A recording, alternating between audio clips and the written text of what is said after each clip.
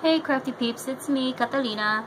I'm here with um, Lala's Creations um, birthday card challenge and I wanted to share this with you um, as part of the challenge anyways. Um, I this is her birthday card that I created for her. Um, it's a shaker card and I, I actually was taking video with a different camera and it kept dying. The battery kept dying. I had two different batteries for it and I went through the whole process creating the, the whole entire card and you know how I made the shaker and you know how I was stamping and you know how I cut the paper and all but the camera kept dying.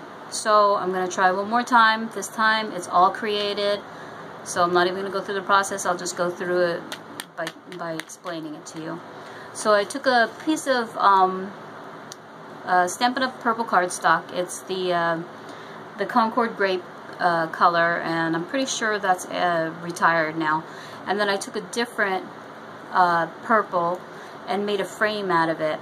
I took a sheet of acetate and glued it to the purple frame, and then I put foam in between the white cardstock, which I stamped Happy Birthday on, and I put some confetti in there and uh, some sequins, put a few buttons in there, and even a little butterfly gem in there.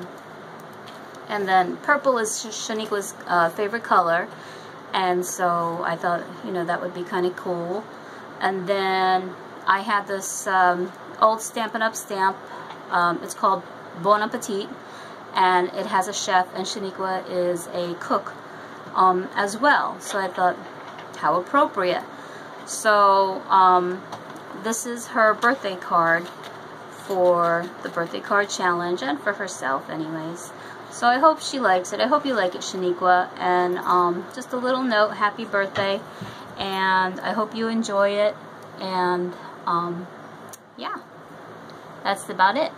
So thank you and have a wonderful day and God bless and be safe. Bye. Love yous.